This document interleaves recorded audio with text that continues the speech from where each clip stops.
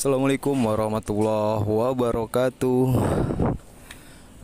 Oke sahabat Kali ini kita mengupdate kembali di sekitar jembatan di atas kali Jelengsi Tol Cimanggis Cibitung yang mengarah ke Narogong ya sahabat. Kini sudah banyak perubahan di sini. Sudah sangat lebar progres jembatannya. Dan di sini saya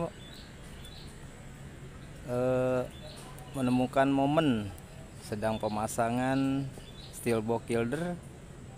Satu persatu sudah dipasang ya. Ini momen saat pemasangan stick steel box kilder. Gini kondisi saat ini. Progres perkembangan tol Cimanggis Cibitung.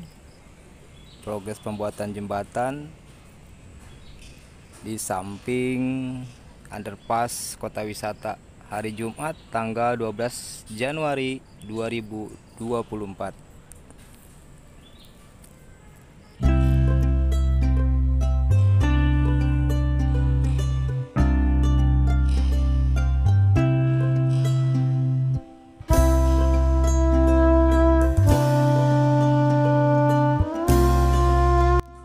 Oke, kita sudah bergeser di sekitar underpass Narogong ya, sahabat. Di sini banyak perubahan juga di sekitar underpass Narogong.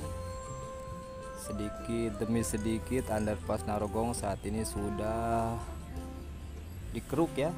Nampaknya di sini sudah terlihat eh, pengerukan di area underpass Narogong namun saat ini mungkin e, faktor cuaca juga ya agak ter, tersendat di sini. Nampaknya tidak ada aktivitas karena cuaca sering hujan ya kali ini ya sahabat.